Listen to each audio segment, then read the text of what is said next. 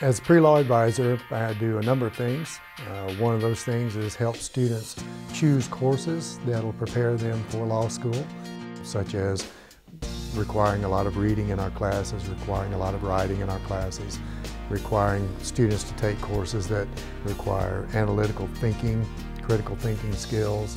So we do that, but I think we do that in, uh, across the college. That's one of the things that we do very well.